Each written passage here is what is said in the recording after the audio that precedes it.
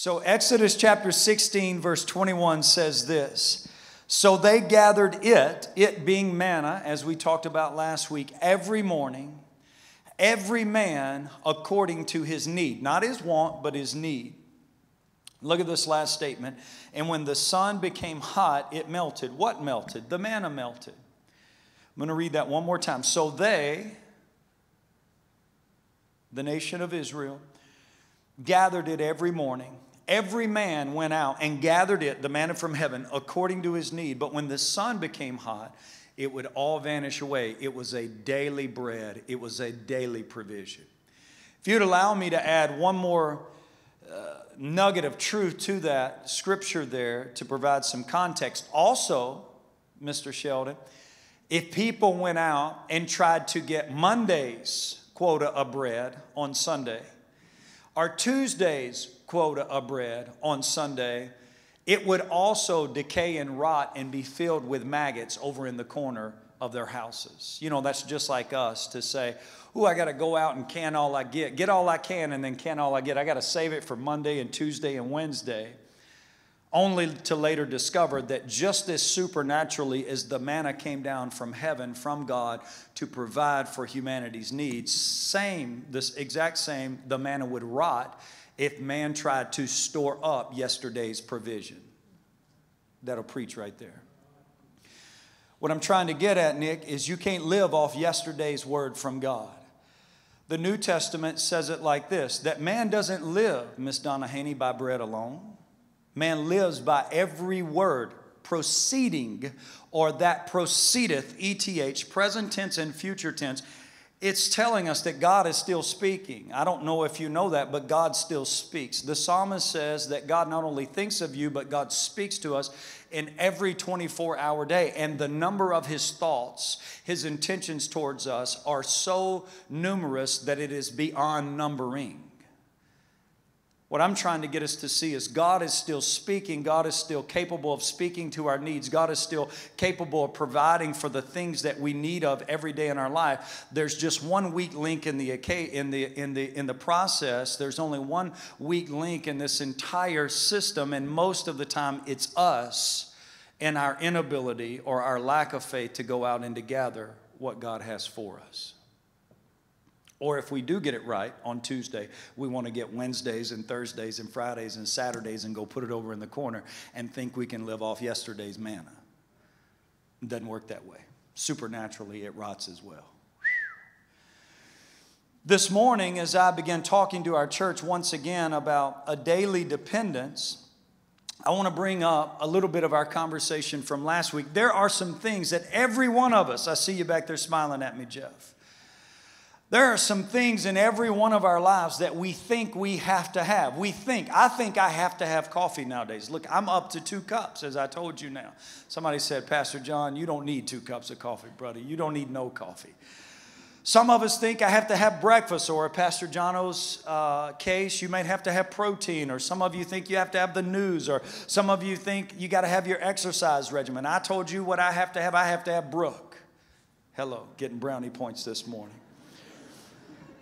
But over 15 years ago, I had someone share a quintessential truth with me about being a Christian, about what every Christian actually has to have. What every Christian absolutely has to have is you have to have a daily dependence upon the Word of God. You have to have daily bread. Here's what the Bible says All we like sheep go astray. Is, any, is, anyone familiar with a sheep farmer around these parts? Does anyone know anything about sheep? Let me just say this. I'm not, I'm not trying to be snide. I'm not trying to be uh, passive aggressive here at all, but sheep are kind of dumb. Sheep are like, oh, that piece of uh, grass over there looks good. Let me stick my head up into this thing and get that grass that I never could reach with my little short neck, anyways, only to get stuck and be like, eh, eh, eh, eh. And we are just like those sheep. We have a natural tendency, the Bible says, to be like sheep, to be a little slow, and to go astray. And because we are like sheep and we have a tendency to go astray, we need a GPS system, a God positioning system. We need signs and roadmaps. We need instructions. We need to stop at the Kwik Trip every four minutes and be like, hey, how do you get to Oronoco? Because we will get lost between here and Pine Island on the journey of life. What we have to have as Christians is a daily dependence upon the written word of God, also known as the manna from heaven. I want to read Exodus chapter 16, verses 1 through 4 again this morning because there's a little bit more preaching in there that I left over from last week, and I want to double back to today. Exodus 16, 1 through 4 in the New King James translation says this And they, the nation of Israel, the children of Israel, journeyed from Elim, and all of the congregation of the children of Israel came to the wilderness of Sin, which is in between Elim and Sinai. This happened on the 15th day of the month of the second month after they departed from the land of Egypt. Check this out, verse 2. And the whole congregation of the children of Israel began complaining as they were on this journey departing from the land of Egypt, trying to get into their new Canaanite promised land. They started complaining against their leadership, against Moses and against Aaron, and ultimately even against God. Verse 3. And the children of Israel said to them, Oh, that we had just died by the hand of the Lord in our own lives in Egypt, when we actually sat by the pots that were filled with meat and we ate bread to our full. In other words, the nation of Israel was saying to both Moses and God, We liked our old lives better. Anybody ever said that? Like, I liked it better before you started messing around in my life, God, when it was comfortable and easy and I could do what I wanted to do. You weren't messing with my stuff. For you have brought us now out into this wilderness to kill the whole assembly with hunger. So, so, so Moses, let me just break this down right quick. So God is, is taking these people who are slaves, who have become, become comfortable in their slavery. Does anybody hear what the preacher's preaching this morning? They were comfortable in their slavery and they didn't even realize they were slaves. And God starts messing around in their business and starts liberating them, freeing them through the voice of a great deliverer from bondage, bringing them out to a new new promised land. But before they could go from a place of bondage to a place of promise, they had to go through a wilderness journey to build their faith and to test them and to build their trust. But when they got in the middle of the wilderness journey, all they thought was God's intention was to kill them, but God had a totally different intention was to build their faith in him in them. Sometimes we go through things in life that we think is killing us. We think God would never bring me into this. God would never do this. This can't be God. He's forsaken me. And all at the same time, God is the one that's brought us into this season. He's brought us to this test. He's brought us to this situation to stretch us, to strengthen us, to develop us, to mature us so that we can grow in Him through the process. See, see here's the truth of the matter all too often in life, we let our connections, our friendships, our good looks, the fact that we know people, take us to places that our character cannot keep us. But what God said is, I'm going to develop you. I'm going to build you through a testing process into a people that are dependent upon me that do trust me, that do love me, that are connected with me, so that when I actually take you into the promised land, you can stay in the promised land. Anybody ever been catapulted into a place and then you get there and you realize you didn't have the skill set, the gifting, or the ability to stay there, and it wasn't but just a matter of time you were lowered back down out of it? God was trying to do something in the wilderness journey that they thought was intended to kill them, but God knew was intended to build them. You think it was you think it was really something in the wilderness to go through the test? Let me tell you where the real test was about to be when they stepped their foot out of the Jordan River and they stepped over into Canaan and there were kings and nations and cities and territories that they were supposed to divide and conquer making the land of Israel, that's where the real test would be. The real test wouldn't be if they could find water and if they could find manna and if they could have the Red Seas part. All that was preliminary. All that was elementary. All that was training wheels for what was about to happen with the king Og of Bashan, what was about to happen with the Jebusites, what was about to happen with the Amalekites, what was about to happen with all of the ites of their future problematic life. He was trying to build their trust in this season so they could walk in victory in the next season. All right, let me keep going here. Here's what the Lord said in verse 4. He said to Moses, Behold, I hear the children of Israel murmuring and complaining and crying. Here's what I'm going to do I'm going to rain bread from heaven for you as their leader. And this is what you shall do. You shall tell the people to go out every day and gather a certain quota of bread every day so that I may test them. God was testing the children of Israel by sending them a daily ration. You know how he was testing them? I shared this last week. He was testing the nation of Israel to see if they loved their misery, they loved their complaining, they loved their old lives, or if they really wanted his help for victory and provision. He was going to test them to see if you just wanted a bellyache and moan and groan, or if you really want God's help to get you out of the situation you're currently in. And if you want that, it's going to be displayed in your action of getting up every morning and going out and looking for the manna from heaven that I've provided for you. Can we talk about this manna? It's like coriander seed. The Bible describes it as something like a vanilla wafer, but it wouldn't give you love handles. Could you imagine waking up every day? Miss Donna Haney, I got to tell you this. I woke up this morning, I got dressed, I pushed the garage clicker. I forgot it was supposed to snow. My wife said to me Friday night, she's like, it snows every Saturday and Sunday. She told me that Friday, like right when we have church. I'm like, oh yeah, I remember she said it hit the garage, it came up, fresh snow. I said, oh, Miss Donna Haney told me what to do. She said, get my leaf blower when it's fluffy. 545 this morning. Vroom, vroom, vroom. My leaf blower doesn't have a muffler, Miss Donna. I have to wear headphones, uh, like gun shooting earmuffs when I. Ask Brooke, and it's got one speed. My my leaf blower, it's a couple of seasons past being needing to be replaced, but I'm just holding it out like every good frugal Minnesotan. I'm just going to get one more season out of before I throw it away. It has two two operations, off and this one. It's either wide open or nothing. Vroom, vroom. I said, they ain't getting the robe this morning and Adidas flip flops. My feet cracked last week after I went out there and got that snow under my feet. I had to put lotion on my feet. My feet split apart. I said, uh vroom, vroom. No, I'm just kidding. I said, man, if I crank this leaf blower this morning, these people going to vote me out of the HOA. they going to move me up out of here. I took my little shovel did me four little tire tracks this morning. I'm going to do the leaf blower when I get home. I'm excited. I'm ready to see how it works. But the children of Israel, they would go out every morning and they would look, and there would be double stuffed vanilla Oreos that was actually good for them and didn't give them love handles. And God would rain it down every day. And they had to go out there and get their daily need from God. And it was a faith building exercise that built their daily dependence on God's provision in their lives. Then they would, you know, like you and me, they try to get Tuesdays and Thursdays and they stack it up in the corner and then they'd look over and it'd rot and fill up with maggots. And what God was saying, there's no, it's about the process.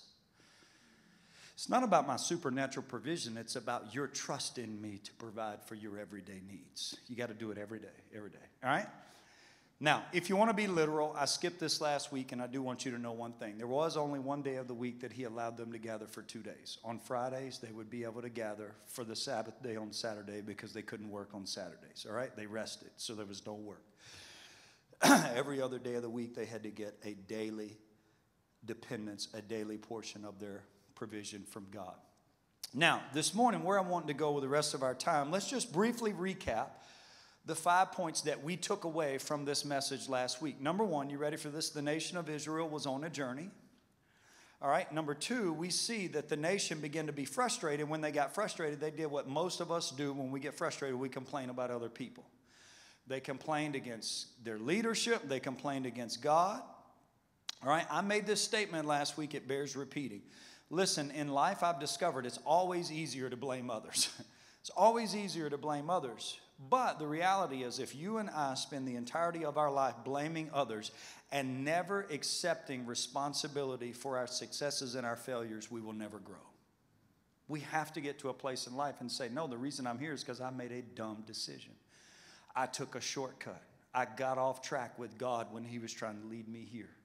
All right, number three, just moving on a little bit further. So, we talked about the nation of Israel being on a journey. We talked about them getting frustrated when things got hard. Then we talked about God sending his provision to them. Then we talked about the people's individual, number four, responsibility to go out and gather it daily. What I mentioned here is people have a natural proclivity for others. People have a natural tendency and a desire for others to do the work for them. We, we all have a natural tendency to want somebody else to go get my provision from God. Pastor Mike, tell me how to have a good marriage. Pastor Mike, tell me how to fix my children. Pastor Mike, tell me what thus saith the Lord. Pastor Mike, disciple me. But I want you to notice here in the scriptures that what had to happen is the people had to go out, every man for the household, and gather the provision from God for themselves. It was the man's responsibility to bring home the coriander vanilla wafers, double stuffed Oreos with no fat content in them instead of the bacon. Jews couldn't eat bacon. All right, let me get back on track. Number five. The people doing this was a daily expression of their faith in God. Like when they opened the front door of their tent, they weren't looking for snow. They were open in the front door. Well, they were in a sense because it would come down white. But when they opened the front door, uh, this is this has some preaching in it here. You need to hear this. When they woke up, the Bible says there's new mercies every day. when we wake up every day of our life, we should be waking up with an expectation that the God who sets high and looks low, check this out, Jehovah, who is Jireh, he is my provider, the God who sees ahead of me, sees further down my road, already exists into my future. When we wake up, we should be looking out the front door of our tents with expectation for God's daily provision for my family today, for my marriage today, for my children today, for my job today, for my income today. See, I know right now in all these uncertain times and with all of the complexities that have gone on in life, many of us feel like everything's out of control control, that maybe Jesus has somehow fallen off his throne. But I've got news for you, my friend. Jesus is still squarely on the throne of heaven.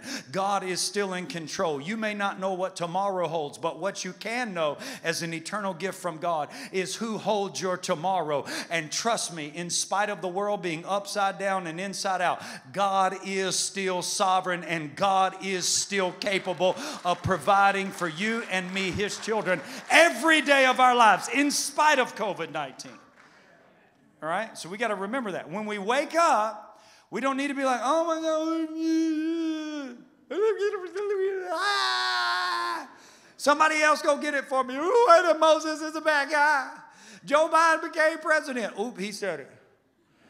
Governor Walz still the governor. Who didn't get mayor election? I didn't want to do it. They didn't sing the song I wanted to. We all have a natural tendency to want. My mom didn't treat me right when I was a kid. I grew up on the wrong side of the tracks. We all have these natural tendencies to play the blame game and to want to get confused and to want to mullygrub and to want to whine and gripe and not look with expectation. Well, maybe God forgot about me. Maybe I'm different. Maybe He can't do it for me. When we should be waking up saying, My God is still my provider and He is capable of providing for my needs today. Mentally today, spiritually today, emotionally today, physically today, whatever you need, my friend, God's provision is out there for you. It's just your responsibility to go get it, not mine. Sometimes I have a hard enough trouble just getting it for me. Somebody said, That's why you the preacher. You're supposed to get it and give it. I am, but you're supposed to get it as well. And when we do this, it builds our relationship with God, our trust in God. It declares our faith daily. And then all of a sudden, are you ready for this? That faith starts growing where all of, a sudden, all of a sudden a kid acts crazy.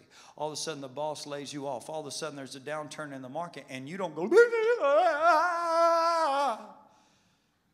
because you realize, even though some of you have great jobs at Mayo, that Mayo is not your source. God is your source, and He just uses Mayo as the avenue of your supply. Trust me, my friend, you wouldn't have that job. God didn't want you to have that job. The income you get, God gave it to you to see if He could get it through you. And when we wake up to the grander reality of that element of faith, that it's not because I'm smart enough, it's not because I'm good looking enough, it's not because I'm connected enough, it's not because I'm the most articulate, it's because God put me in this place. It wakes us up to the reality that even though trouble hit today, my God is still with me and He's going to walk with me through this valley of the shadow of death. And He's still going to provide for me. All right? So, now, last couple of minutes we have, I want you to get ready to add another layer of notes to this, to this message here, and then we're gonna, we're gonna call Pastor Chad back and we're gonna close out our time together. Number one, I think you've already gotten this memo, but I'm just gonna show it to you from the New Testament. We too are on a journey in our life from the bondage of Egyptian slavery to the promised land of our eternal relationship, our eternal dwelling in the presence of Almighty God. Just like the children of Israel, this parallels your and my life. And I think what most of us think is once we get over into the promised land, that everything's over. That we're going to look like little little babies on a Luvs diaper commercial with harps and wings, and God's taking care of everything. When in actuality, what's happening is just like the nation of Israel, we are in the middle of a journey. Here's what the Apostle Peter said.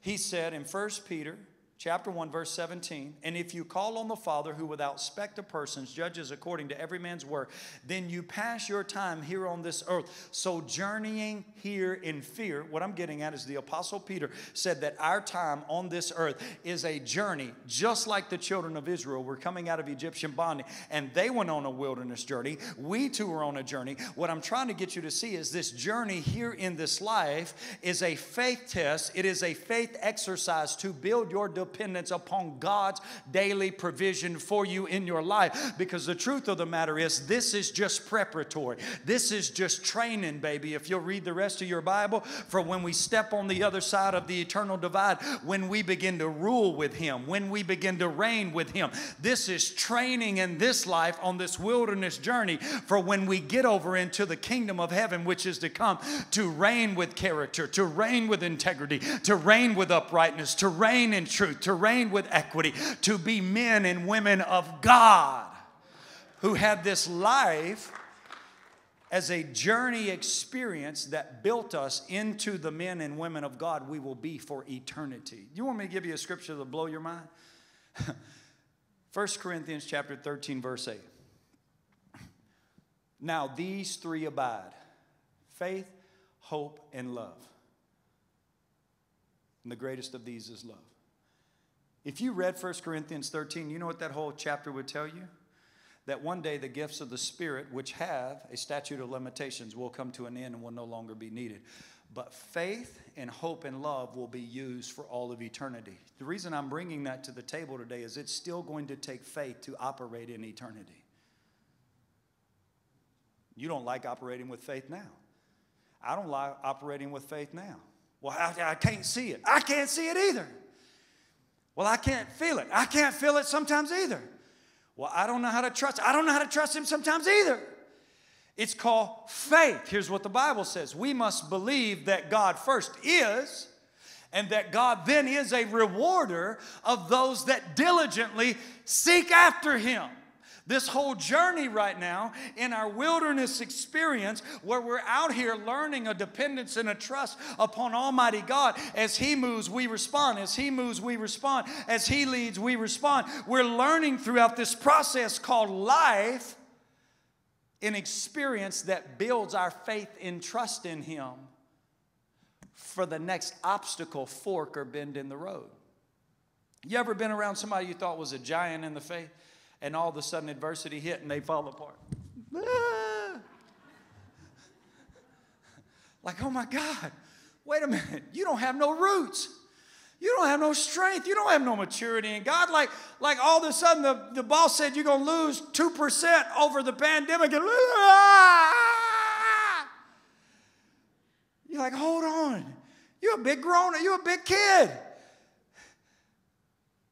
This process in life, and I'm making it comical and funny at other people's experience through illustrations that have no names and faces attached to them. But the reality of this is every one of us have those areas in our lives where God is trying to woo us and strengthen us and develop us and grow us and build our faith through trust in His daily provision for our lives. And many of us act like on the surface we've got it all together. Many of us act like we've got it all together and working out in our marriage or working out in our finances. But there are areas in every one of our lives where where God is trying to teach us a deeper dependence and trust in Him. And the truth of the matter is, the only reason I'm up here preaching this today is what we're going to find out is oftentimes it's not thin air when we step out in faith, it's God's supernatural, miraculous provision for all of those areas of dysfunction still in our lives that we haven't had enough faith to trust Him in yet.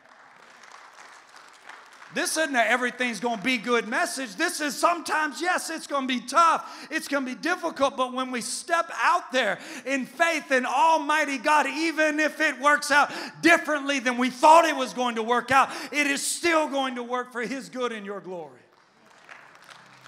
It's still going to work out that way. We're on this journey. Yeah, we came out of sin, and yeah, we're on our way to heaven, but it's about the process now of the journey.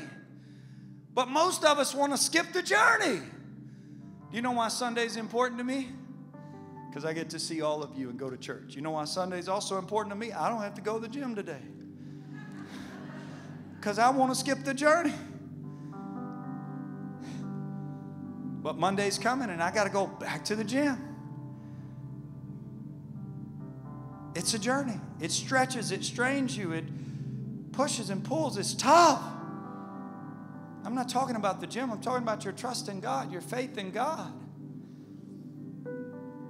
We like the off time, but the growth happens in the hard time. We like the mountaintops where we can see all the scenery, but the development happens down in the valleys. That's where the growth is. That's where the briars are. That's where the buckthorn is, as you guys would say. That's where you get poked and pinched and clawed and scratched and turned around upside down, lost. You don't even know where you're at. That's what happens. See, you act like you've been there before. Yes, I have. Look at this. We are on this journey. And what happens is we get frustrated. Now I'm going to meddle a little bit right now. And we get and it's Tim Walz' fault. And it's Trump's fault. And it's the Senate's fault. And it's Biden's fault. And it's, we do the same thing. We're still people. 6,000 years later, we still do the same things. Everybody else's fault, right? Can I tell you why complaining is never the answer? Complaining does two things. Number one, when you complain, you step out of God's divine order. God's a God of order, and God always when when there when there is issue between you and a person, the Bible is filled with scriptures about how you reconcile and work through issues. There's an order to it, and it's not you call the third person. it's not you get on Facebook. It's not you do all the things. And we get out of order, God's divine order, and then we open a door, James says, in the spirit world that lets more confusion into our marriages, more confusion into our parenting, more confusion into our hearts, more confu- There's an order to it. You don't complain because you don't want to get out of order. Number two, you don't want to complain because here's what you're saying when you complain. Indirectly, you're saying, I don't trust you, God. Because how I had it worked out was the dominoes were going to fall that way. And when the dominoes fell that way, it was all going to work out according to my little plan. And the dominoes didn't fall that way. So I'm mad at you, God. And what God's trying to tell you is hey, listen to me. You see one domino, I see all the dominoes. And where you're focusing on one falling the wrong way, what I'm focusing on is 64,072,013 falling. And then all of a sudden working something for your good and glory that you didn't even know was working when the dominoes fell that way. Shut your complaining mouth and get back in order with me and trust me for your future. Here's what the Bible says. Here's what the Bible says. Now, I don't have this down. I just got to preach it, right? And it's important that I live it. Do all things without murmuring, complaining, and disputing. If I didn't give you no other scripture today, that's enough right there. Daily dependence upon the word. We all needed that one today. Do all things without murmuring, complaining, and disputing. There's enough for us right there. We forgot that one was in there. That's one of the ones we like to omit. Number three, God has sent you provision. He sent me provision. You ready for it? It's written in red, John chapter 6, verse 51. Jesus said this I am the living bread of heaven, which has come down from heaven as manna. And if anyone eats this bread, he or she will live forever. And the bread that I give them is the bread of my flesh, which I shall give so that this world can have life. Well, God hasn't provided for me. Ah. Wrong answer. That's your viewpoint. It's not the truth of God's word. God's provided for you. He provided when He gave you His Son, who became the bread of heaven. And He gave it so that you can have life. Matter of fact, John 10 10 says, so you can have life better than you have ever had it before, abundantly. Interesting scripture. Check this out. I'll let you decide if it fits or not. It's not a heaven or a hell issue. Revelation 2 and 17, also written in red from the mouth of King Jesus as well. He who has an ear to hear, let him hear what the Spirit says of the churches. To him who overcomes, then I will give some of the hidden manna of heaven to eat. If you remove that one comma that doesn't exist in the original language, it seems to be a connection between an ear to hear what the Spirit would say Seems to be a connection between an ear to hear what the Spirit would say to supernatural provision, manna from heaven for God for your everyday life.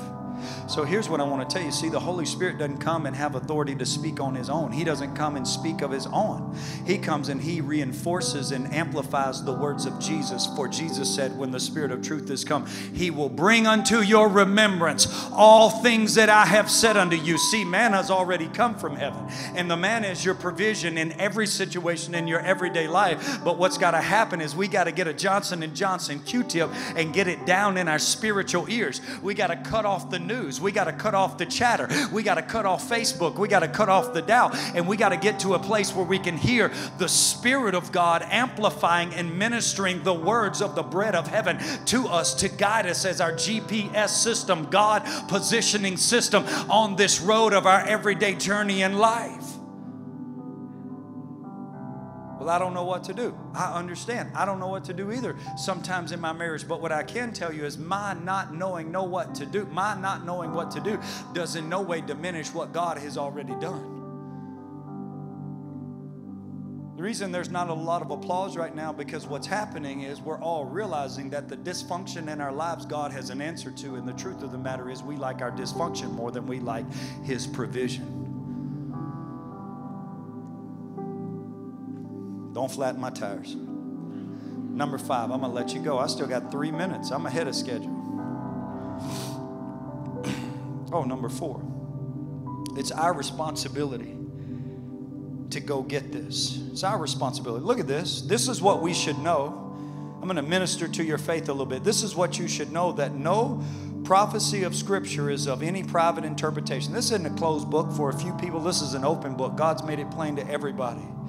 For no prophecy or portion of Scripture has ever come about by the will of man, but as holy men of God spoke as they were moved on, breathed on by the Holy Spirit. Don't you know, Timothy said, for all Scripture is given by God? Listen to this, and it is useful to teach us not only what is true, but to make us realize what is wrong in our everyday lives. The truth is, we don't read the Word because we don't want to know what's wrong. We don't like God in our stuff.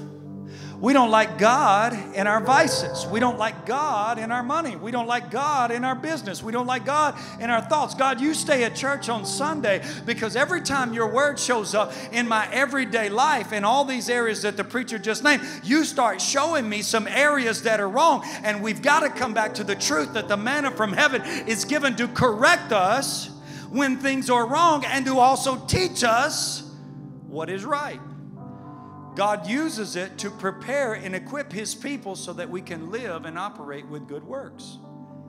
That's what the Bible says. Look at this. Here's one we don't hear preached anymore 2 Timothy 2:15. Study the word of God to show yourself approved, a workman that needeth not be ashamed, that knows how to rightly divide the word of truth. You want to know what that means in 21st century? Language, that means if you'll get in that word and study that word and grow in that word and become experienced in that word, you'll know where to apply that word when your life's jacked up. You'll know where to apply that word when your marriage is on the rocks. You'll know where to apply that word when you're struggling financially. You'll know where to apply that manna from heaven every day over the parenting issues of your household. I better preach over here to Pastor Chad. They not they mad at me this morning. Number five, I'm gonna let you go. Circling the air airport here. This builds our faith when we walk through this process. This builds our trust in God's daily provision as we rely on God's daily provision in our lives. I got to share this, this, this last scripture with you. Listen to this. 2 Corinthians chapter 3, verses 4 and 5. I never hear anybody preach this. And we have such trust through Christ towards God. I want to ask you something. Do you have that trust, Annie? Like, like, do you know as a it's I'm not not being messy. You have a son, right? Daughter. Two. Your road, it's been a difficult road. You've parented alone. Is that okay to say? Sorry. Do you know when you wake up today that if you don't have confidence in nobody else, that you have you should wake up according to the scripture with confidence through Christ towards God. That when you look to God, He's not fault finding. He's not nitpicking your life. He's not mad at you. He's not being skeptical of you. He's not saying, Well, you could have done that a little better. we have such confidence towards God through Christ alone. Check this out. Here's what Paul said Not that our sufficiency or our confidence was based upon ourselves. Check this out. But our sufficiency is when the door flung open this morning. I knew my God already provided for my needs. I didn't wake up looking for snow in the driveway. I woke up looking for God's provision in my marriage. God's provision in my money, God's provision in my body, God's provision in my children. Even when it seems like the Republican Party, the Democratic Party, the politics of the world have lost their mind, even when it seems like nation is rising against nation, even when it seems like my friend didn't answer my text message or I got a defriend update on Facebook about how they dropped out of my life. What I knew this morning when I woke up is I have confidence towards and through Christ to my God that He needs me. He sees my needs. He longs for me. He's provided for me. Watch this. You ready? And there's a quota that I got up today needing to get from Him. I don't have it all together. I still got needs in my life. There are quotas that need to be met today, but I know He's already sent them because He loves me. Watch this. Where'd we start this sermon series? Matthew 6 33. It's exactly where we're going to end. So, for this reason, what I just preached for you, wake up every morning and seek first the kingdom of heaven and all of his righteousness, and the rest of this mess will just be added to you as you operate and walk by faith on this life's journey road. You want to know why? There's the book bookend. Here's the beginning. Seek first the kingdom. Blessed be the God and Father, Ephesians 1 and 3, of my Lord Jesus Christ who has, past tense, blessed me with every spiritual blessing in heavenly places when He gave me Christ Jesus. You know what that means? That there's no special hallway in heaven, no special janitorial closet where God's keeping some extra blessing. And you're like, hey, God, I wish you would send me the rest of what you were going to give me. When He gave you His Son, He gave you the best that He had. He gave you freedom from addiction, He gave you a new way of thinking, He gave you peace in your soul, He gave you kindness in your marriage, He gave you zeal in your relationship and in your witness. He gave you everything He had when He gave you the gift of His Son. And what the enemy wants to keep you from having is faith in His provision. His Son, the manna from heaven. What He wants to do is clog your ears with all the clutter and voices of this world so you can't hear the Spirit saying what the bread of heaven would say. Because if He loses the ability,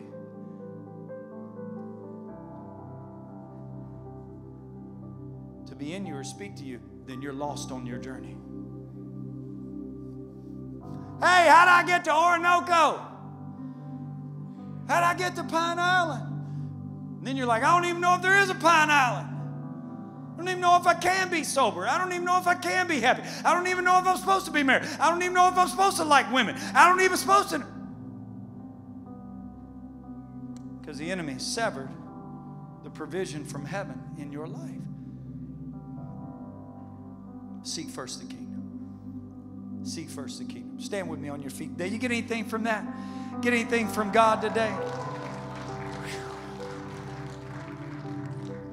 Mm. Every head bowed, every eye closed.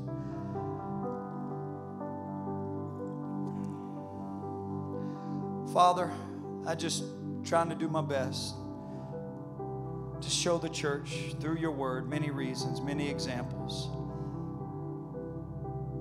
of how we need to be daily dependent upon you. Father, I'm also trying to do my best under your anointing preaching to reveal to people your provision, that you love them, that you're not mad at them. Father, today it's my prayer in this room that men and women would say, you know what? I'm ready to unclog some of the voices in my ears. I'm ready to start feeding again on that manna from heaven that, only, that not only tastes good, but actually is good for me. Father, as your word comes, as your spirit comes, show us those areas of immaturity. Show us those areas of inconsistency. Show us those areas where things are right, things are well, and things are whole. And then help us to carry on. Father, it's my prayer today that every man, woman, boy, and girl under the sound of my voice would just reaffirm their covenant and their commitment to daily having a dependency upon you. I trust God as we go and seek, we will find you when we search for you with all of our hearts. May our faith deepen. May our roots grow down stronger. May we soar unto new heights, and may your blessings be in and on each and every one of our lives. In Christ's name I pray. Amen and amen.